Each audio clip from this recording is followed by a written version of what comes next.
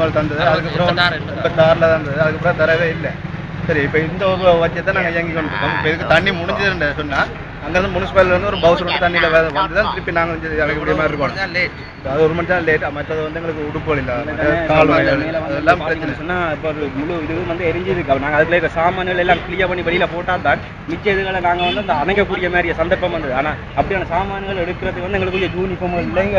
இப்படியான ஷர்ட்டுகளால தான் இது மாணவ சபை தான் எங்களுக்கு பாதம் யூனிஃபார்ம்களை அரேஞ்ச் பண்ணி தந்தா நாங்கள் இன்னும் எங்களுக்கு சேவையை யாழ் மக்களுக்கு நல்ல நீட்டாக செய்யக்கூடிய மாதிரி இருக்கணும் மாணவர் சபை மாணவர் சபை தீயணைப்பு சபைக்கு சம்பந்தப்பட்ட ஆட்கள் மாணவர் சபை தீயணைப்பாளர்களுக்காக முழு யூனிஃபார்மும் வந்து என்ன சொன்னா அதுக்குரிய சாமான்களை வந்து எங்களுக்கு ஃபுல்லாக இது இல்லை சப்பாத்து இல்லை இதெல்லாம் நாங்கள் நார்மல் சப்பாத்து. அப்போ இந்த ஷர்ட் எல்லாம் கிளீன் அப்போ இப்படியான இதுகளுக்கு வந்து அவங்க எங்களுக்கு அரேஞ்ச் பண்ணி தந்தா தான் நாங்கள் எங்களுடைய சேவையை நல்ல வடிவாக ஜால் மக்களுக்கு செய்யக்கூடிய மாதிரி இருக்கு. இப்போ வந்து நாங்கள் இவ்வளோ இதுவும் நீட் இப்படியே விடுவோம்னு சொன்னால் இந்த கட்டிடம் வந்து எங்களுக்கு இடிகிறதுக்கு சந்தர்ப்பம் இருக்கு. ஆனால் இவ்வளோ நாங்கள் முழுக்க செய்து முடிச்சிருக்கோம் ஃபுல்லாக முப்பது வருஷ காலமாக யாழ்ப்பாணத்தில் கட்டிடங்கள் ஒன்றும் வளர்ச்சியாக வளர இல்லை அப்போ இப்போ இந்த பாதுரம் தேநீர் ம- ரோடு திறந்தபடியாக இப்போ கட்டிடங்கள் பல இங்கே உயர்ந்து கொண்டு இருக்குது அதனால தீயணைப்புக்குரிய சாத்தியக்கூறும் நிறைய இருக்குது. நூறு வீதம் இருக்குது.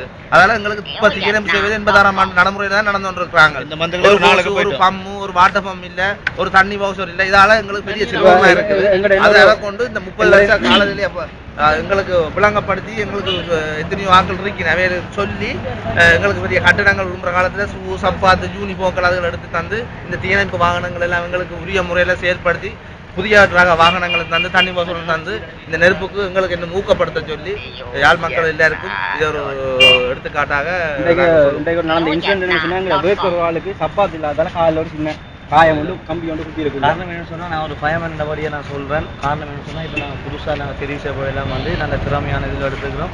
எங்களுக்கு உரிய நேரத்தில் தண்ணி சப்ளை எல்லாம் வராத காரணத்தால எங்களால் வெகு சீக்கிரத்தில் இந்த வேலையை முடிக்க முடியாம போனோம். ஆனா நீங்க வெகு சீக்கிரத்தில் எங்களுக்கு கனரா வா- இது சா- வாகனங்கள் சைதம் தந்தால் நாங்கள் இன்னும் தீயணைப்பு நாங்கள் வந்து சீக்கிரமாக அணைச்சி பெருங்க செய்த வழியிலேருந்து நாங்கள் எங்களால் காப்போம் திருப்பி மீண்டு நாங்கள் அவைக்கு உதவி செய்யறதுக்கு எங்களால் முடியும். அந்த அளவுக்கு எங்களுக்கு பயிற்சி தரப்பட்டிருக்கிறது. ஆனால் அதற்குரிய உபகரணங்களும் கையாளும் முறைகளும் கையாளும் முறை உபகரணங்களும் இன்னும் தரப்படவில்லை. இதை உரியவர்கள் கருத்தில் கொண்டு வெகு சீக்கிரத்தில் இதுக்கு ஒரு முடிவு எடுக்க வேண்டும் என்று கேட்டுக்கொண்டு நாங்கள் எந்நேரமும் தயாராக தீயணைப்பு சேவையினர் மக்களுக்கு சேவை செய்வதற்கு தயாராக. ஓகே